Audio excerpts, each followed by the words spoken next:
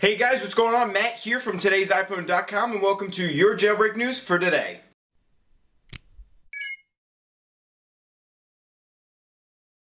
Starting us off today, I want to tell you guys about a web application that is going to tell you if your device is jailbreakable and if so, which jailbreak utility you should use. For instance, if you're on iOS 5.1.1 and you're on an iPhone 4S, it's going to say, hey, you can use Redsn0w or Absinthe 2.0.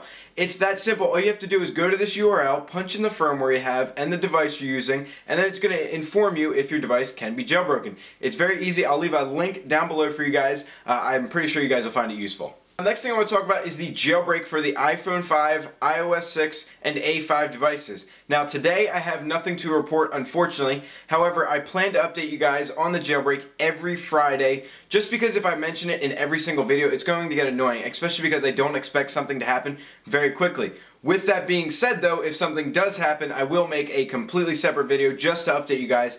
So if a jailbreak comes out, I'm not going to wait till Friday to tell you guys. I'm going to tell you right away. I'll make a video.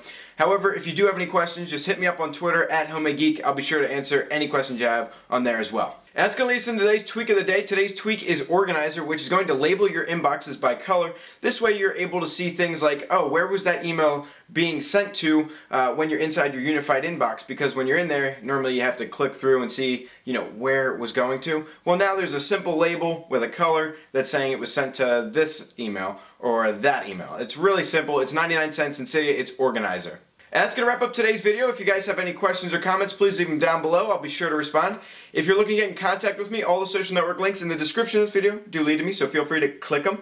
And other than that, guys, you guys have a wonderful weekend, and I will see you guys on Monday. Peace. Whoosh.